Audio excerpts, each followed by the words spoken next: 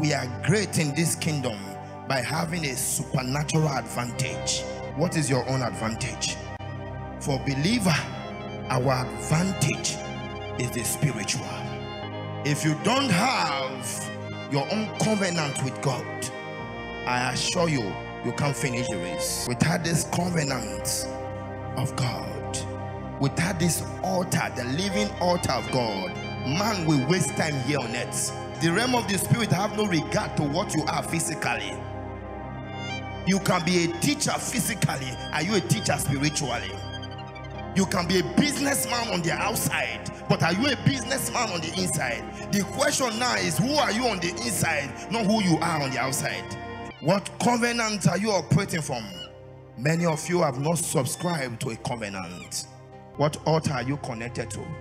In other words, there is a race ahead of you, brothers and sisters.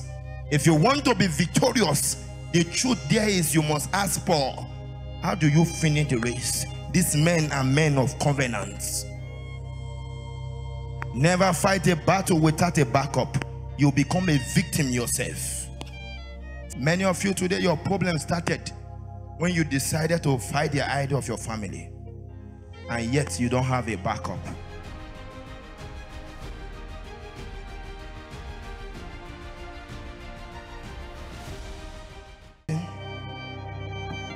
If you work on the natural, Satan will cheat you. If you work on the natural, you have no advantage at all. I tell you the truth, I will never, never work on the natural alone. The Bible says, a body without a spirit is dead. There is no advantage for you at all in this world no matter how simple and how nice you are, how kind you are. Man of God, I'm a simple man. Shame on you. It's not by being simple to be great here. We are great in this kingdom by having a supernatural advantage. What is your own advantage? For believer, our advantage is the spiritual. If you don't have a backup of the supernatural, forget about how nice how calm, how simple. I want my life to be great. I want to be a great man of God. How do you want to do it? I'm an innocent man. I went to Bible school. I love the Lord. I have money to build a church. Shame on you. That is not how to do church. I want to be a great businessman. Man of God, my uncle have been in that line, so introduce me to it. Let me tell you, without the supernatural, you have no advantage you have no advantage. If you don't have your own covenant with God, I assure you, you can't finish the race. Without this covenant of God, without this altar, the living altar of God, man will waste time here on earth. And let me tell you the truth the realm of the spirit have no regard to what you are physically. You can be a teacher physically. Are you a teacher spiritually? You can be a businessman on the outside, but are you a businessman on the inside? The question now is who are you on the inside, not who you are on the outside. The realm of the spirit has no regard for what you do physically. Are you not aware that the Bible says, unless the Lord build a house, though they build that, they are still wasting time laying blocks, laying bricks, and everything they said they are building in vain.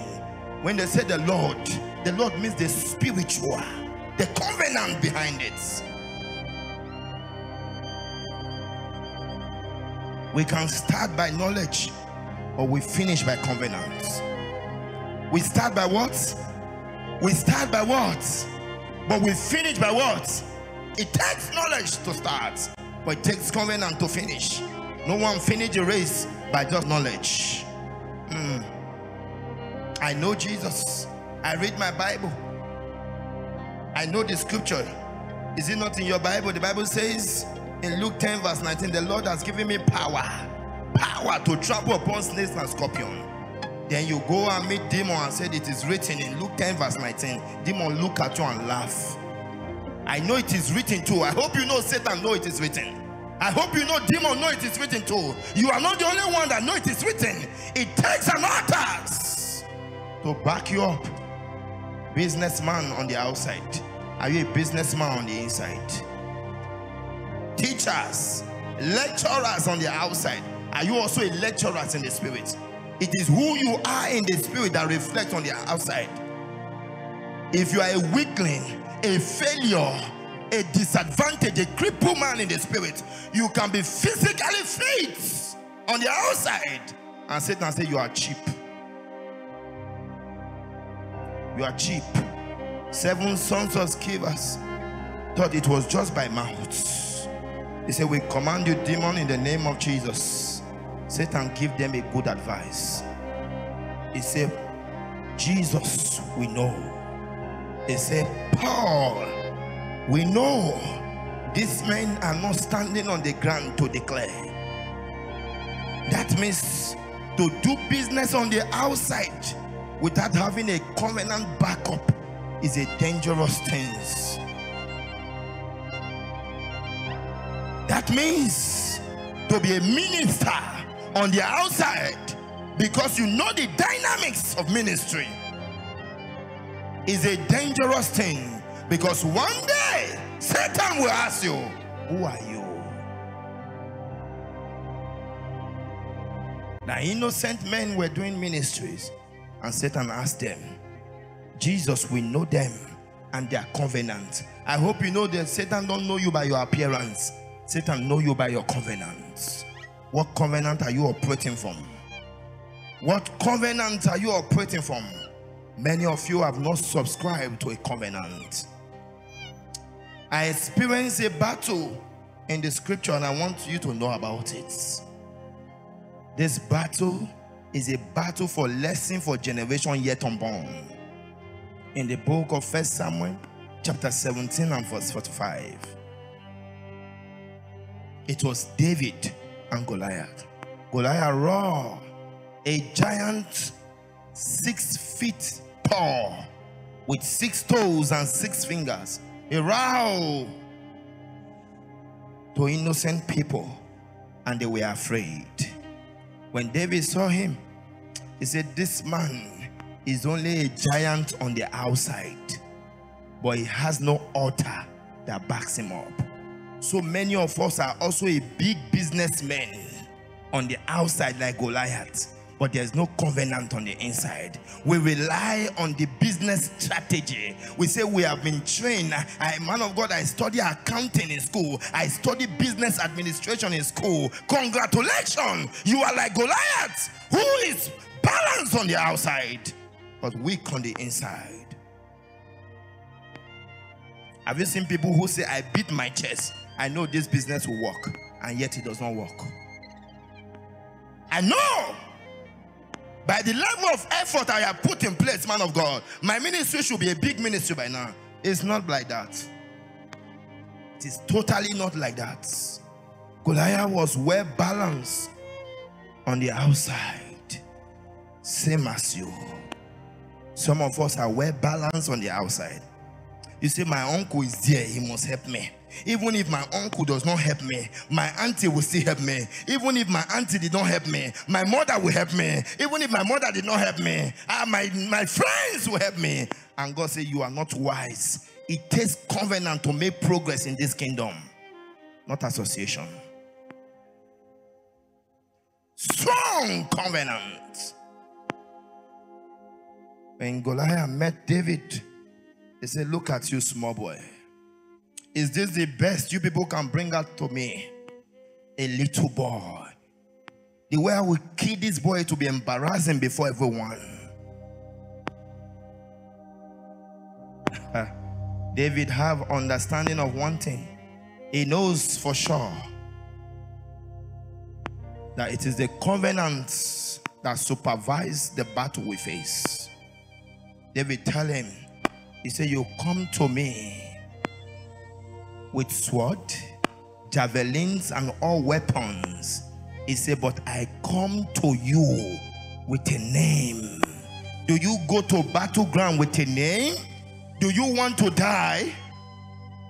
Have you ever seen in a battleground, rather than taking your sword, taking all your weapon, your shield, you went with a name? David said, I know for sure that that name is mysterious. Anyone who go with the Lord strong and mighty, the Lord who is mighty in battle, is already a finished battle on arrival. Before you start, we serve a God who finished the battles before the battle starts. Many of you, you ignore this process. You have fight for 15 years of your life, and your life look like somebody that is just starting 15 days ago because everything you are doing is only on your outside. Power and minds. Say, you come to me with a sword, but I come in a what? I come with a name. This is the strange battle I've ever witnessed in the Bible. A battle you go with a name. You that you are fighting battles, what are you fighting with? We fight with a name. In other words, we fight by covenant. Oh, yes. We are not ignorant about the battle that lies ahead. First of all, Paul opened our eyes to a battle. He said, I have fought the good fight. Just know that there is battle for everyone to fight. That statement is alone is already an explanation that if you are a Christian, there is a battle you must fight. He said, I have fought the good fight. I have finished the race. I have kept the faith. In other words, there is a race ahead of you, brothers and sisters. If you want to be victorious, the truth there is you must ask Paul, how do you finish the race? These men are men of covenants. Never fight a battle without a backup. You become a victim yourself. Fighting battles without covenant makes you what? A victim yourself. Many of you today, your problem started when you decided to fight the idol of your family, and yet you don't have a backup. Suddenly you begin to build a house. You say, I'm a Christian. Nobody build there. You say, I must build. I must build. The Lord say, if you are in Christ, I'm a new creature. All things pass away. And the idol look at you and laugh. He say, what covenant do you belong to? It is not just to declare with the mouth alone. But let me tell you, there is a component that backs everything we do. After you build indeed, you realize that you've been building for 18 years and yet the structure is not coming up. Does it take 18 years to build? Ah, no.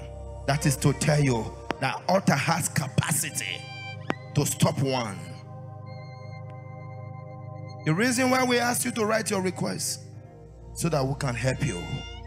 Some of you don't know that Satan himself is an altar. God is an altar. Satan is an altar. If you don't subscribe to the altar that is stronger than you, brothers and sisters, the more you fight, the weaker you become. It is possible to be a Christian who does not have an altar. There are many Christians today, brothers and sisters. They are serving God with all their hearts, but they just don't have an altar. They realize that they are getting weak because no matter how a soldier is talented, he cannot fight a war alone.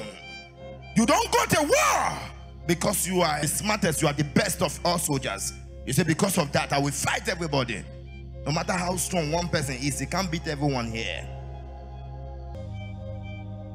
When David finished with Goliath, the king asked him, He said, Tell me your altar. What son what tribe are you from? He said, Ah, the son of Jesse. Are you aware that that lineage is where Jesus Christ will come from? And that lineage is unbeatable.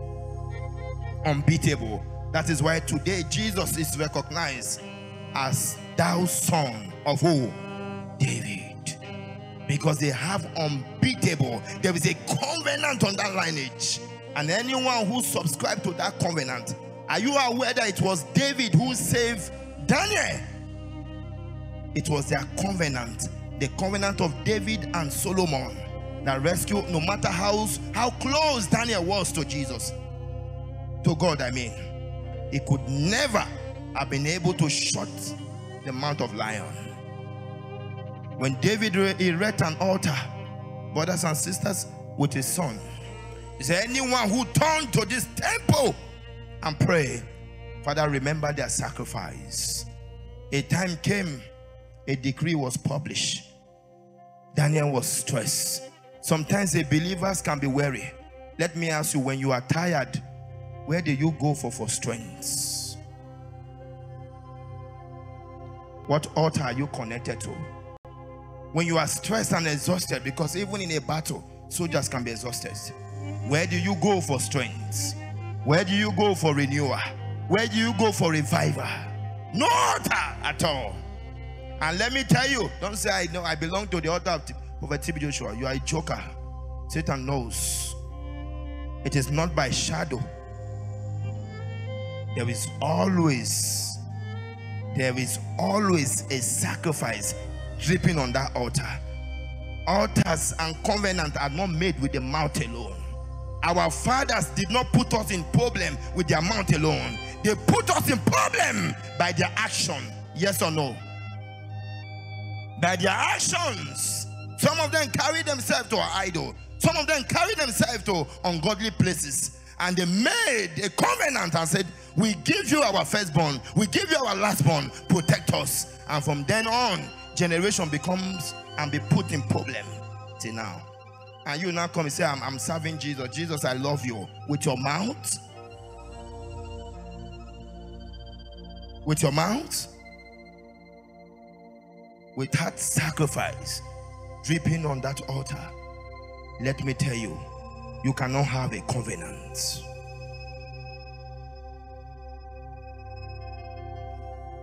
Don't stand alone in life you'll be so weak. And some of you are even in that stage now, you are asking God, Did I do anything wrong? You may not necessarily do anything wrong, brothers and sisters. It could be because you are only operating on the natural, and the natural is 2% over 100. It cannot save you for anything.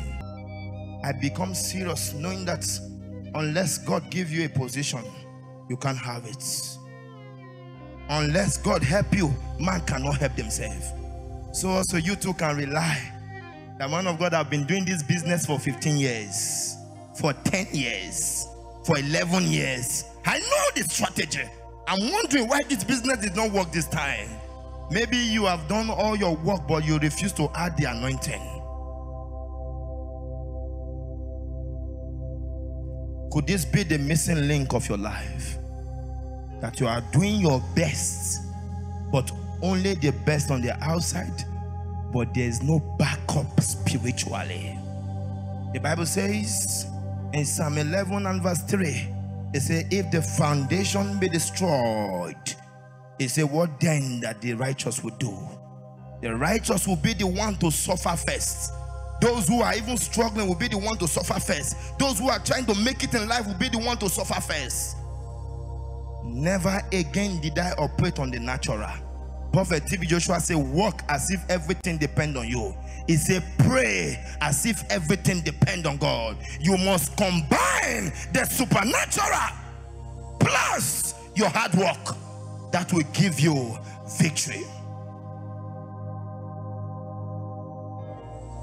If you don't combine it, you'll be surprised He's a man of God, but, but I'm better than this person in my office. Why are they promoting the person?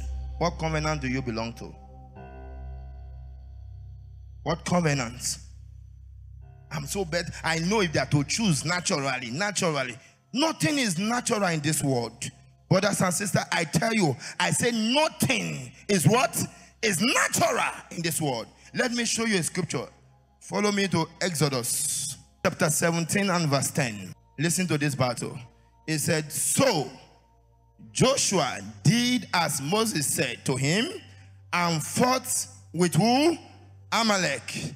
And Moses, Aaron, and Hur went up to the top of the hills. The next verse now. there's a battle coming up now. They want to fight against the Amalek. Let's watch what happened. The next verse. And so it was when Moses, take note, Moses is not in the battleground now. Moses is at the at the temple, at the mountain, on top of the hill. When Moses held up his hand, what happens? That Israel do what? That Israel do what? This man is not in a battleground, but this man is an altar, is a covenant. When he raised up his hand, victory is for Israel. Uh-huh. The next scripture now. Okay. Take it back, verse 11. Give us verse 11 again. Verse 11, media. Pay attention to this. It said, When Moses held up his hand, that Israel prevailed. And when he let it, when he let down his hand, Amalek do what? Is this man in a battleground? Eh? Is he in the battleground? People are fighting by prophets. A spiritual man is interceding for them somewhere. Each time the prophet raises his hand, victory is for his people. And whenever he's tired, he drop it down. That means anytime they ignore the supernatural, they begin to lose. But when they acknowledge the supernatural, they begin to win. When they are tired of the spiritual and they come to the physical, they are losing. Mysteriously.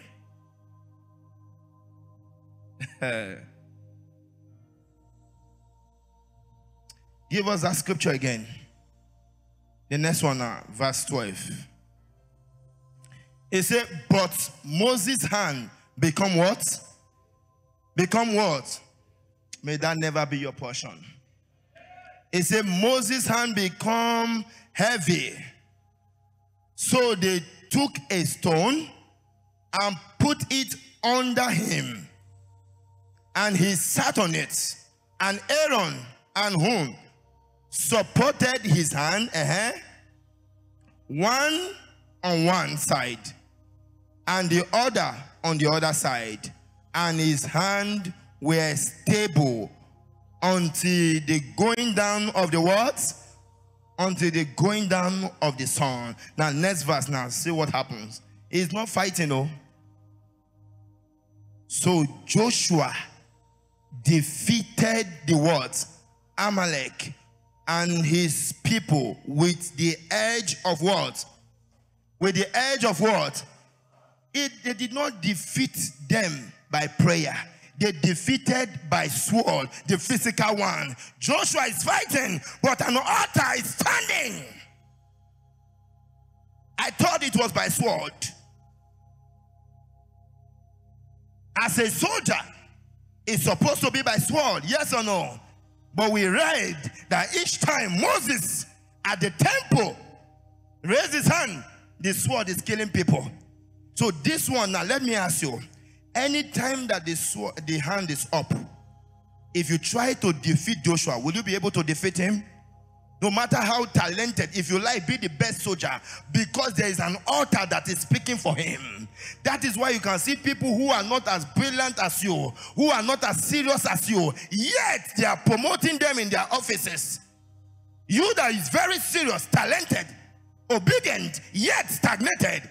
It is not on the physical. There is an altar that is stopping you, and there is an altar that is promoting them, either good or bad altar. It is not about the activities on the outside. If you go by the activities on the outside, you will lose many times, I tell you. Many times, your life will become a life of experiments. When Moses raised his hand, victory. Raising his hand means when they connect with the covenants. Brothers and sisters, which covenant do you connect to? You see this ministry? This is not a normal church. Have I tell you that many times? This is not a church at all. This is an altar. The altar of the God of Prophet TB Joshua is here. And that altar, I tell you, is greater than any altar I've seen so far.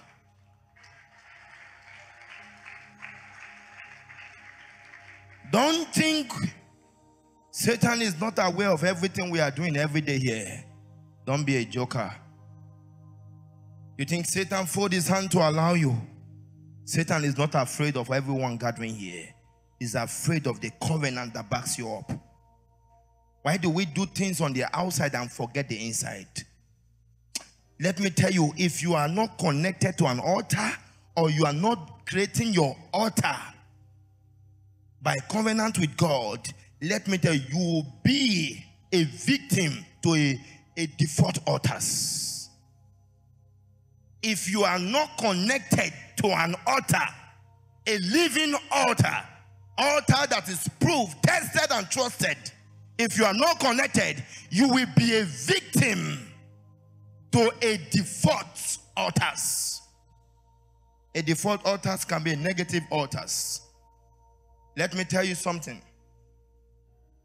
David makes a statement, I think in Psalm 23 and from verse 4. He said, Though I walk through the valley of the shadow of death, I am walking in a valley, but that valley has the shadow of death in it. Are you with me now? I walk in a strange place. I walk in a strange state. I walk in a strange regions. And they have their own climates. Their own climate can be the shadow of death in that in that place. I cannot be a victim of it because God is with me.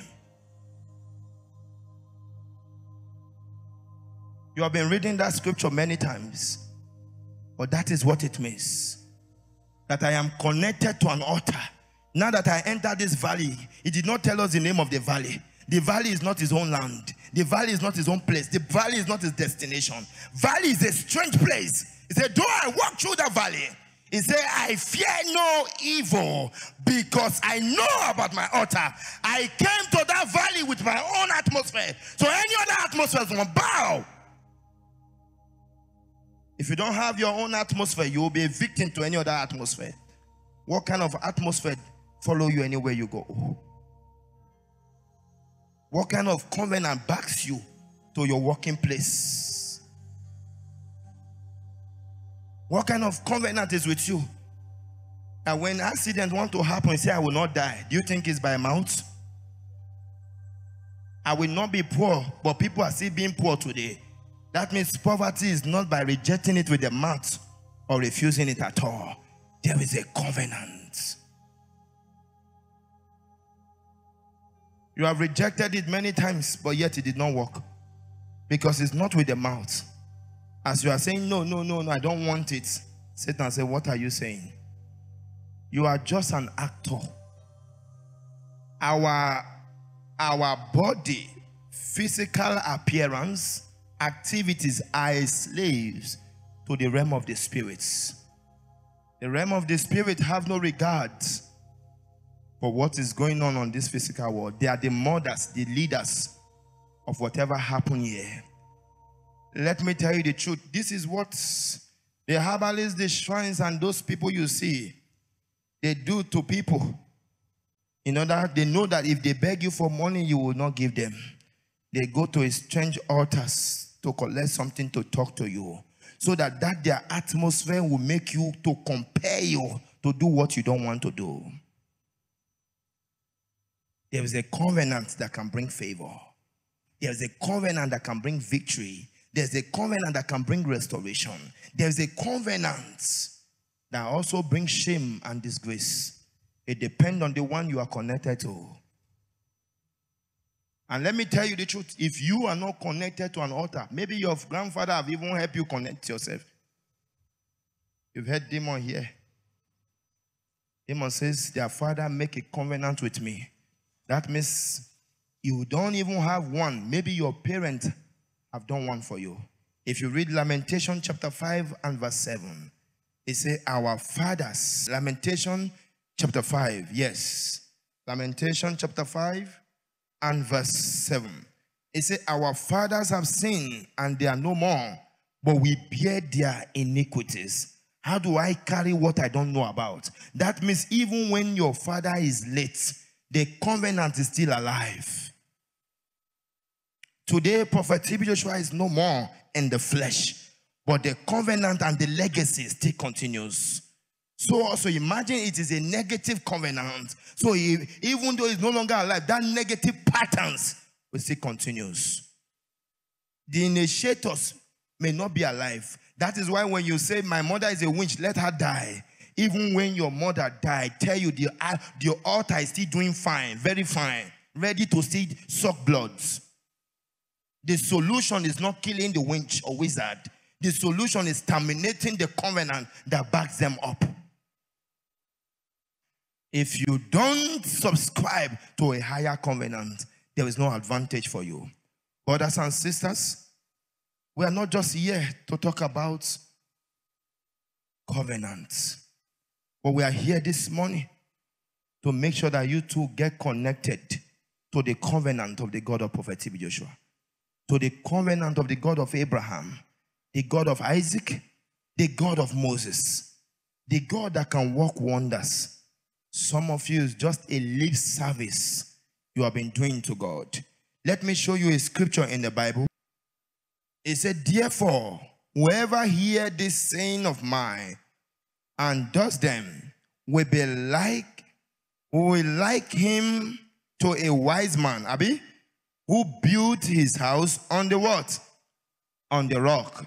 This man built on the rock, and the rain descended. Take note, the rain descended, the flood came, and the wind blew and beat on the house, and it did not fall. Why? For it was founded on the where? On the where? The next verse now. Give us the next verse. Uh-huh. But anyone who hear this saying of mine and does not do them will be like a foolish man who built his house on the what? on a sand. One built on a rock. One built on a what? On a sand. The next verse now. Mm-hmm. He said the rain descended. That same thing that happened. The flood came. Did it happen in the first one? And the wind blew and beat on that house. And it fell. What happened? Great was it what? Great, great was it fall it fell mightily. But the question now is it that they build that was the problem? Is it the building that was the problem? The building is not the problem, but on where it was built on. This one built and they built where? The painting was nice. The rod, the, the, the, the, the iron used to build it was accurate. But there was a challenge. The covenant which they built them on was separate. That means a business can be built on a sand and yet it will not last. A marriage can be built on the sand. Beautiful man and beautiful woman. He said, My wife is the most beautiful one. I love my wife with all my heart. I can't leave her for the rest of my life. I've, I've make a vow. And people who have been in marriage for five years, 10 years, 15 years, they, they feel sorry for you. You see, our parents who are close to their husband and wife, they are praying together. I say, I don't know why these people are like this, but I know I will love my wife. It's not all about physical love here, brothers and sisters. It's not about the physical one.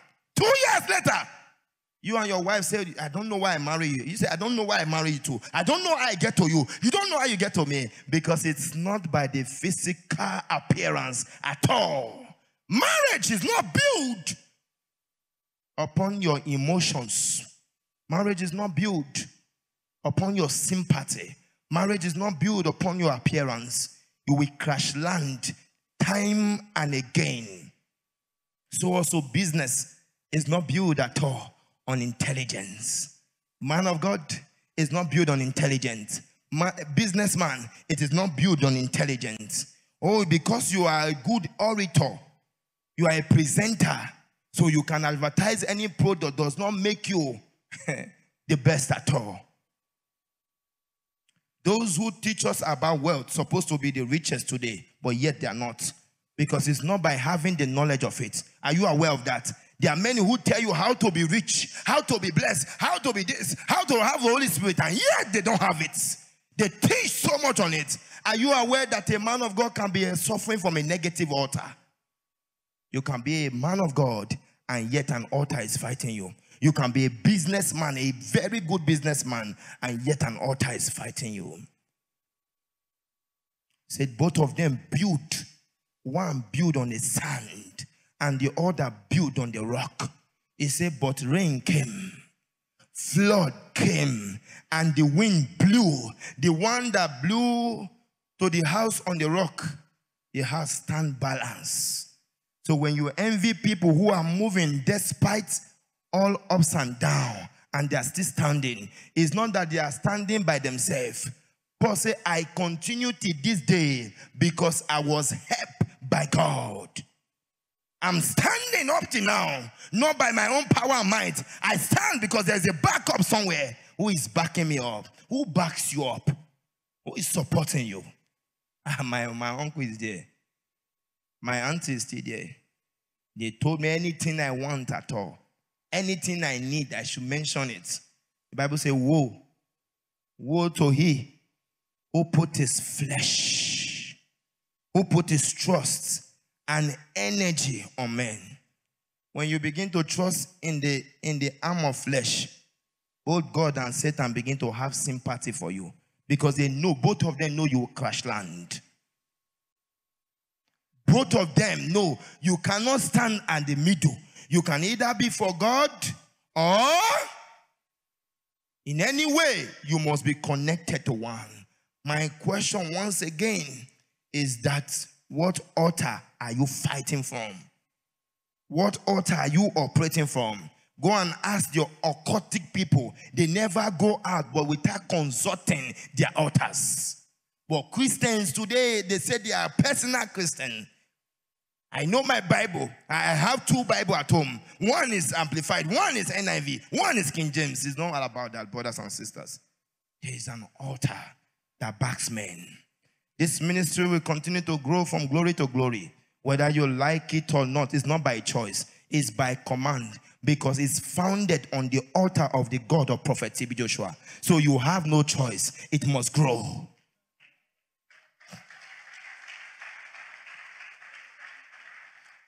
Don't make any mistake that when your business is rising, everybody is happy for you. You are too innocent to believe that. If you believe that, it is a proof that you are a child. That as you rise, men clap for you just like that. He said, We are happy for you. As you rise and everybody celebrates with you and hug you. Are you aware for every breakthrough, there's always an enemy? For every testimony, there's always a devil waiting for the next battle. Are you not aware? So, therefore, be connected to an altar if you want to be a finisher. May God bless you in Jesus' name.